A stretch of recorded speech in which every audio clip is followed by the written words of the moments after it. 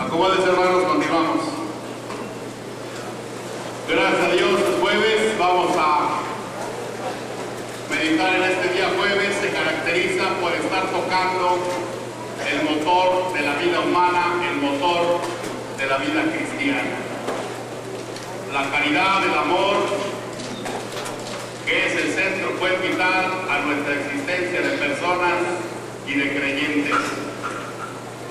Se vio el tema del Antiguo Testamento, cómo Dios actúa como Padre en la antigua ley, mano dura, truenos, relámpagos, sentencias, un Padre que te manifiesta con la mano dura y que no por eso contradice lo que el Nuevo Testamento presenta como Padre amoroso. La lección de la mano dura pues es necesaria aplicada a tiempo es justamente benéfica. Ahora vamos a tocar pues el punto central de la obra divina. ¿Cómo es Dios? ¿Cómo el pensamiento de muchos es la imagen de un Dios que castiga, un Dios que está en contra de nuestros planes, un Dios que fabricamos cada día a nuestra medida? El problema humano es que fabricamos dioses a nuestra medida. Si no me oyen mis oraciones, a mí no me escucha, a otros sí. Atiende a unos, a otros no. Dios en su quinto cielo, Dios nos dice ya se murió, no existe Dios. Otros pues nomás se acuerdan de Dios cuando pues las necesidades es la característica de muchos creyentes Solo hay Dios cuando les aprieta el zapato. Solo hay Dios cuando el sufrimiento, la problemática les acomete. Pues eso no se vale. El Dios verdadero, el Dios auténtico, el que creó al hombre a su imagen y semejanza, el Dios compasivo, el Dios leal que prometió estar con nosotros hasta el fin del mundo, es el que está aquí en la Sagrada Escritura. Y es precisamente el que vamos en esta meditación a descubrir. Al Dios amorosísimo, cuya conducta pues no tiene ahora sí que pues tacha de todo amor. Vamos, es el, el Dios alocado. Dice San Juan en su Evangelio a esta palabra nos amó hasta el extremo. Y aquí está la verdad, el que no ama exageradamente simplemente no ama, es un egoísta. El que no ama exageradamente no ama. ¿Cuál es el cochino amor que manifestamos hoy, hermano? Bajo conveniencia, bajo circunstancias. Yo te voy a amar si tú me amas. Yo te voy a hacer fiel mientras tú me estés bien. Si tú me saludas, yo te saludo. Si tú me invitas, yo te invito. Esa característica pues es un amor vivo. Más bien eso no es amor. Si nos amara a Él bajo conveniencia y circunstancia, imagínense en dónde estaría. Yo los voy a amar a ustedes si se portan bien. Ahí está la primera reprobada. Yo los voy a amar a ustedes por bonitos. Ahí está otra reprobada. Yo, Dios nos ama porque somos sus hijos. Sin conveniencia, sin circunstancias.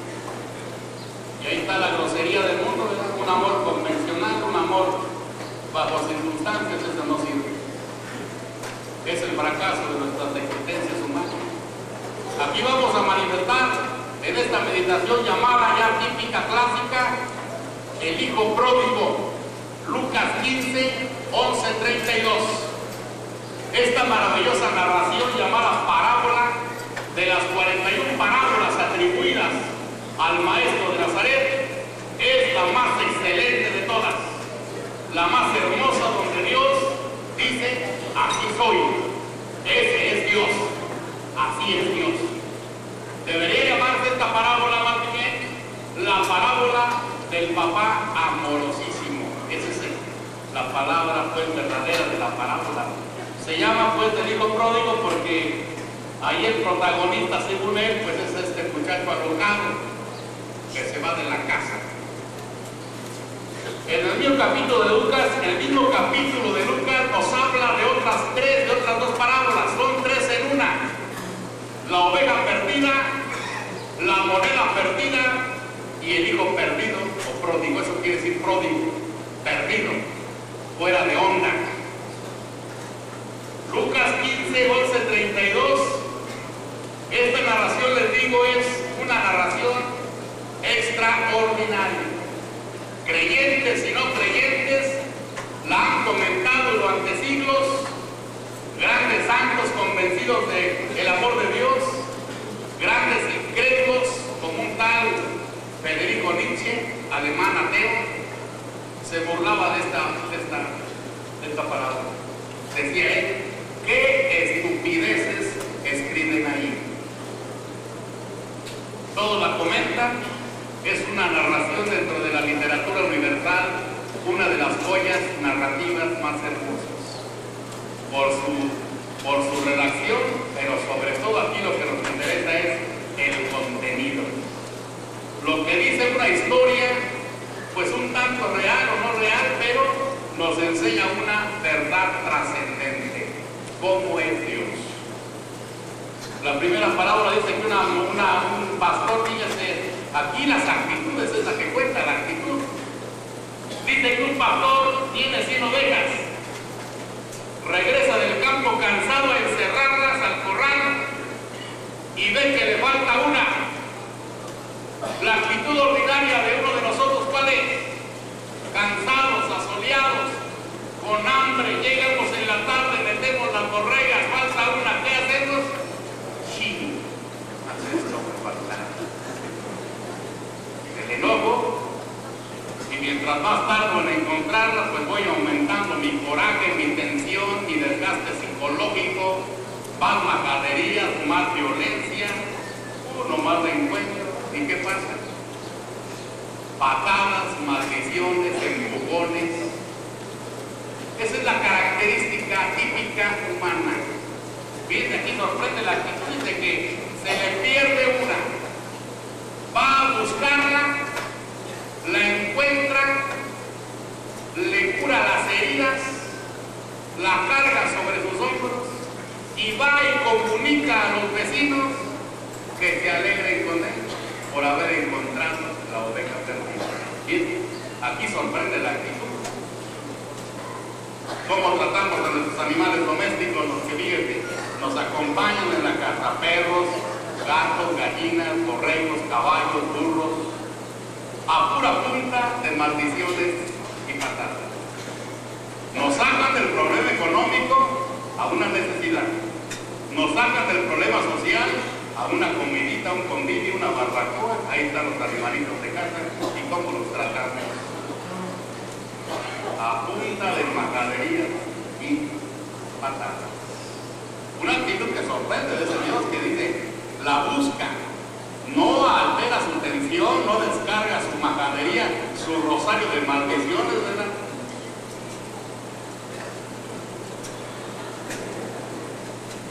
O el descargue psicológico de uno ahí se presenta.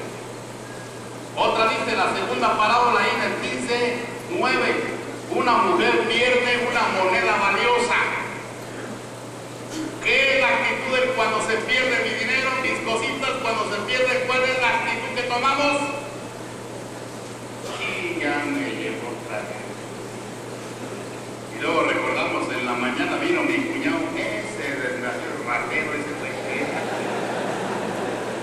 Buscamos nombres, buscamos culpables, a ver qué fue. Somos expertos en buscar culpables y poner nombres. Y esa barbaridad, como aquí se atropella siempre, padre, terrible, dinero, y pues le eché la culpa al cuñado, le eché la culpa. Y fíjate que me encontré después del dinero que puso, padre, perdón. Dice aquí, dice, la señora pierde la moneda, barre la casa, mueve los, mueve los muebles, encuentra la moneda. Igual forma, dice, va a las vecinas, comunica que encontró su moneda y celebra fiesta porque encontró la moneda. No pone nombres, no busca culpables. Somos expertos en buscar culpables. Dios no está aquí. Son actitudes que sorprenden cómo es Dios. Somos la oveja perdida, somos la moneda valiosa y busca afanoso. Y no cuando nos encuentra, pues descarga sus maldiciones, su coraje, su violencia. Cero violencia, cero majadería. Todo amor, todo ternura, la representación de esta casa de que moneda perdida, oveja perdida, el trato, un abrazo, un perdón, un adelante, un te. Esa es la forma. Ahora vamos a ver pues a la culminación del amor de Dios. ¿Quién pasa a leer, por favor, la parábola? Por varonil, clara, fuerte, como de hombre. ¿Quién pasa? A ver. Puta, aquí no sabemos bien. Aquí volteando a los cámaras. Saluda a la familia, si. Muchos dicen que van a, la se van a Acapulco. El hijo pródigo, Lucas 15, 11, 32. Acá en la mandarga, calmadamente, sabrosamente. Los que tengan su video vayan siguiendo, los que no, paren su oreja para que escuchen. Jesús continuó, había un hombre que tenía dos hijos, el menor dijo a su padre, dame la parte de la hacienda que me corresponde. El padre repartió sus bienes entre los dos. El hijo menor juntó todos sus haberes y unos días después se fue a un país lejano. Ahí malgastó su dinero llevando una vida desordenada. Cuando ya había gastado todo, sobrevino en aquella región una escasez grande comenzó a pasar necesidad. Fue a buscar trabajo y se puso al servicio de un habitante del lugar que lo envió a su campo a cuidar cerdos. Hubiera deseado llenarse el estómago con la comida que daban a los cerdos, pero nadie le daba algo. Finalmente recapacitó y se dijo, ¿cuántos asalariados de mi padre tienen pan de sobra, mientras yo aquí me muero de hambre? Tengo que hacer algo. Volveré donde mi padre y le diré, Padre, he pecado contra Dios y contra ti. Ya no merezco ser llamado hijo tuyo. Trátame como a uno de tus asalariados. Se levantó pues y se fue donde su padre. Estaba aún lejos cuando su padre lo vio y sintió compasión. Corrió a echarse a su cuello y lo besó. Entonces el hijo le habló, Padre, he pecado contra Dios y ante ti. Ya no merezco ser llamado hijo tuyo. Pero el padre dijo a sus servidores, rápido, traigan el mejor vestido y pónganselo. Colóquenle un anillo en el dedo y traigan calzado para sus pies. Traigan el ternero gordo y mátenlo. Comamos y hagamos fiesta, porque este hijo mío estaba muerto y ha vuelto a la vida. Estaba perdido y lo hemos encontrado. Y comenzaron la fiesta. El hijo mayor estaba en el campo. Al volver, cuando se acercaba a la casa, oyó la orquesta y el baile. Llamó a uno de los muchachos y le preguntó qué significaba todo aquello. Él le respondió, tu hermano ha regresado a casa y tu padre mandó matar el ternero gordo por haberlo recobrado sano y sano. El hijo mayor se enojó y no quiso entrar. Su padre salió a suplicarle, pero él contestó, hace tantos años que te sirvo sin haber desobedecido jamás ninguna sola de tus órdenes y a mí nunca me has dado un cabrito para hacer una fiesta con mis amigos. Pero ahora que vuelve ese hijo tuyo, que se ha gastado tu dinero con prostitutas, haces matar para él el terreno, el ternero gordo. El padre le dijo, hijo, tú estás siempre conmigo y todo lo mío es tuyo. Pero había que hacer fiesta y alegrarse, puesto que tu hermano estaba muerto y ha vuelto a la vida. Estaba perdido y ha sido encontrado. Palabra de Dios. Gracias, hermano. Muy bien, gracias. Bien. Esta narración, dos mil años, narrada por el maestro de Nazaret, pues ha transformado conciencias, ha hecho santos y ha polemizado, pues, motivo de polémica esta narración. Parece el hecho, pues nuevo, fíjense nada más, dos mil años y parece que acaba de pasar el Señor por una de nuestros hogares. Es el grito del adolescente alocado, del adolescente rebelde, no se encuentra bien con sus padres, no los entiende la, el grito moderno, ¿verdad? No me entienden o no les entiendo. Me largo de la casa, me tienen hasta el copete. Viejos rucos, anticuados, me largo de la casa. El grito típico. Adolescentes, prepotentes, groseros, pues superficiales, alocados, esa es la, la trama de todos que nos ha pasado a todos, la rebeldía del hogar, la rebeldía de nuestros padres.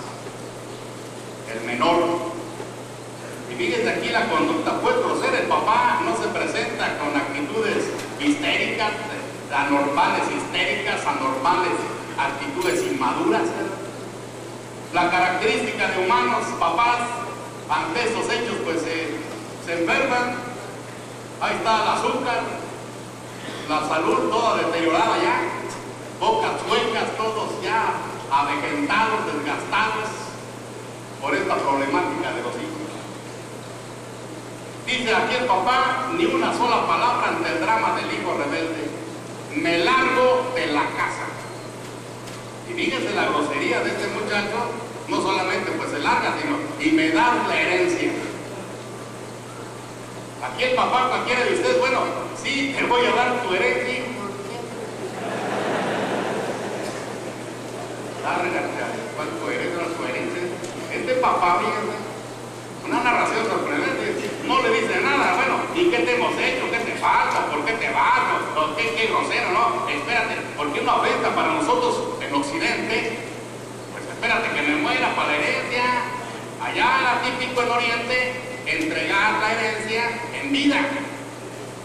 Para nosotros es una gravísima ofensa esto de las herencias en vida, que pues es el hecho que estamos repitiendo diario. La avaricia de los hijos que sobrepasan al mandamiento cuarto de que pues ya papá muérete, ya, ya vete a la calle, ya déjame la casa, ya, ya este, ya, los corre pues. Hijos en Estados Unidos vemos los hechos tremendos de los dos hermanos, aquellos hace ya como unos, ¿qué serán? Unos 12, 13 años, aquellos hermanos que se pusieron de acuerdo para matar a sus padres y quedarse con la herencia. Bueno, es un hecho que pues ya de moda.